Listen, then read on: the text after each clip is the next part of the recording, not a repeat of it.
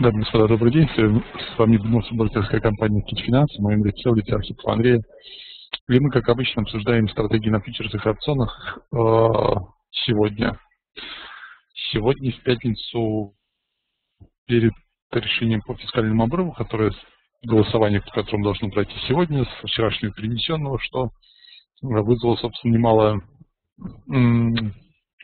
небольшую панику и, соответственно, привело к росту волатильности и на западных площадках, и у нас непосредственно.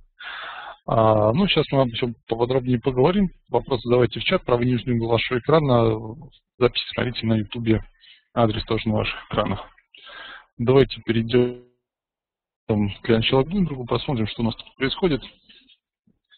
Фьючерс на индекс РТС на наших глазах э, снизу, снизу откупают голубые фишки сейчас после утреннего гэпа вниз, что, собственно, с одной стороны говорит о том, что а, даже при неблагоприятном исходе, варианте развития событий, все-таки покупатели есть и покупатели активные, но с другой стороны, если мы с вами посмотрим на тот же ну, фьючерсный индекс РТС, то с определенных точек зрения, с технической точки зрения, то, что не прокололи низ, и, соответственно, подбор был до а, локального минимума от вчерашнего дня, говорит о том, что, скорее всего, тест, тест будет проходить э, тест будет проходить именно этих уровней. А, сейчас у нас, ну, нельзя сказать, что прямо на рынке у нас пила или какая-то там колбаса, и что рынок э, из нее там будет выходить, но, тем не менее, рост фактически волатильности, как, э, собственно, реально так и небольшой ожидаемый, заметен. Поэтому какие-то намеки на то, что будем тестировать низы, есть. И я, собственно, склоняюсь к этому варианту развития событий. А, так, давайте посмотрим, что у нас а, с открытыми позициями на сегодняшний момент. На ваших экранах изменения за последнюю неделю объема открытого интереса на колах и на бутах мартовских. А, мартовский, собственно, фьючер, на фьючерс мартовский довольно большой, ну как довольно большой, 25 тысяч контрактов, конечно, не очень, но все-таки выделяется э, объем именно в этом районе. И, на мой взгляд, это а, неплохой сигнал для покупателей, а, поскольку все-таки фичи, о, опционы это у нас долгосрочные, и 155 скорее все-таки как вариант на, на дальнейший рост. Если были краткосрочные, я бы, наверное, сказал, что это скорее как потолок ограничений движения некая плита, которая может быть э, сверху от цены стоять. А, так, это у нас смарт. Давайте посмотрим, что у нас с январем. Ну, на январе, конечно, активность побольше, но тут 150 и 155 страйки центральные превалируют все-таки тоже больше на колах. А, большого объема на путах у нас не накоплено, и, на мой взгляд, это а, пока неплохой сигнал, то есть э, хедж пока не набирается достаточно активным.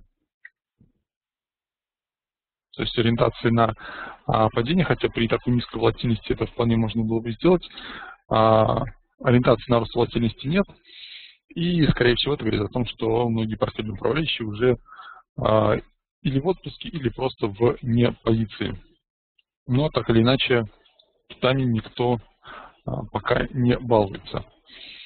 А, вот так у нас выглядят основные контракты опционные, которые торгуются на Airtation. Сейчас э, изменения по открытым позициям.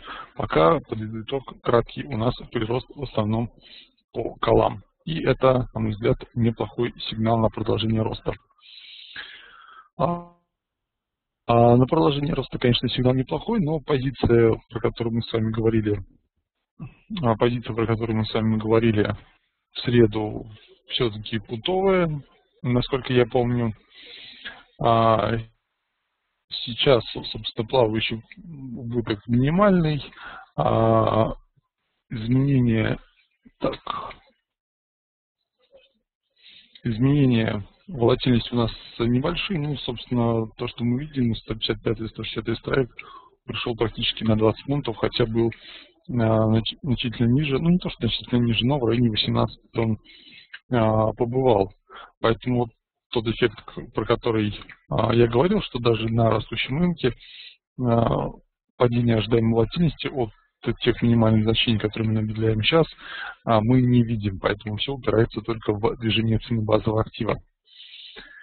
А, так, так, так, так, ну, в движении цены базового актива хотелось бы дополнить, что в случае пробития локальных максимумов на 154 уже можно разворачивать путовую позицию в сторону а, возможного роста цены. Ну и тут я думаю, что ничего, никаких сюрпризов для нас уже может не быть. Скорее э, ситуация будет развиваться у нас в понедельник после как пройдет в Америке голосование а, по согласованию бюджета. И э, тогда уже мы что-то получим а, существенное. В целом неделя, как видите, у нас прошла а, в целом под ну, в положительной динамике. А, рынки немного прибавили, и не исключено, что, ну, лично мои ожидания, что пятница у нас сегодняшний будет а, вялый и неинтересный. С одной стороны, есть повод для падения, утренняя волатильность пока еще никто не забыл, но с другой стороны, покупки от низов говорят сами за себя.